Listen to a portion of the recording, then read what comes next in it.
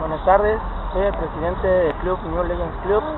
Quiero agradecer a todos eh, los invitados que nos acompañaron hoy el día 16 de julio en esta primera Expo Tuning eh, en honor a, a Perpetuo Socorro.